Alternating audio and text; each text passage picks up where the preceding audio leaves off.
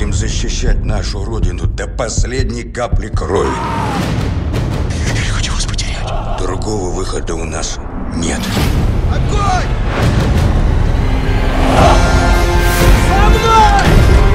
Я в плен не сдамся.